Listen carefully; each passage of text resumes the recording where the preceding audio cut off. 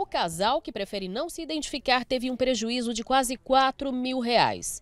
O dinheiro foi transferido para uma mulher que trabalhava como corretora de imóveis para uma grande imobiliária da capital e era referente ao aluguel de uma sala comercial no setor oeste. Primeiro foi quase mil reais e o segundo de, do valor foi de 2.750. O casal fez o pagamento através de um Pix e nele aparecia o nome da mulher, a corretora de imóveis que intermediava o aluguel da sala. Como o primeiro atendimento feito por ela para a alocação do imóvel aconteceu dentro da imobiliária, eles ficaram tranquilos e confiaram que o valor seria repassado à empresa.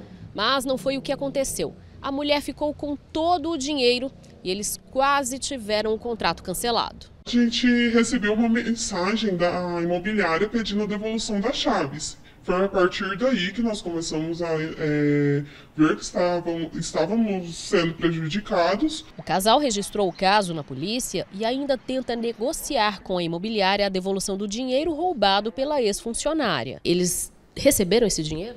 Não, eles não receberam. Na verdade, eles pediram para nós mandarmos o comprovante de pagamento. E aí, imediatamente a gente mandou e já entramos em contato para saber o que estava acontecendo. Eles disseram que estavam com uma funcionária estelionatária dentro do estabelecimento deles. Esta semana, um estudante caiu em um golpe parecido. Ele precisava alugar um imóvel com urgência e, pela internet, foi enganado por dois homens que se passavam por corretores. O prejuízo foi de 300 reais. Ver o imóvel para mim era só um detalhe, era apenas um detalhe. O que eu queria mesmo logo era alugar, porque era difícil estar conseguindo apartamento em Goiânia, ainda mais que aceitasse pet. Então, como ele facilitava a entrada, ele facilitava o acesso de, de animais dentro do apartamento também, aí a gente acaba ficando cego para pequenos detalhes como esse, de ver o apartamento. Uma hora depois, duas horas depois, ele não respondia mais, sendo que antes de eu transferir, a conversa estava fluindo muito rápida. O estudante, que também prefere não se identificar, expôs o golpe nas redes sociais e em pouco tempo, pelo menos seis vítimas da mesma dupla apareceram. Fizemos o boletim de ocorrência, pelo menos eu e todas as vítimas com quem eu entrei em contato já fizemos o boletim de ocorrência. Né? Teve alguns casos que já são um pouco mais antigos, porém essas pessoas entraram em contato comigo porque elas querem que seja resolvido. O advogado especialista em assuntos imobiliários explica que golpes de aluguel estão cada vez mais frequentes.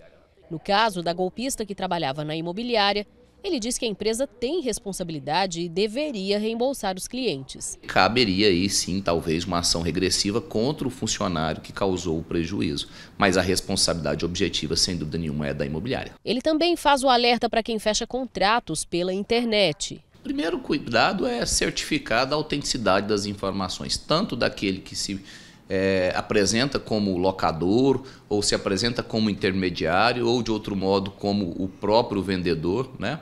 saber se ele se é uma pessoa que possui registro junto ao conselho, que é o Cresce, e aí analisar inclusive a existência do próprio imóvel, porque agora nesses períodos que, que se aproximam, né, de recesso, férias, a gente vê muito, pelo menos a gente tem visto no histórico, muitas reclamações relativamente a imóveis que sequer existem.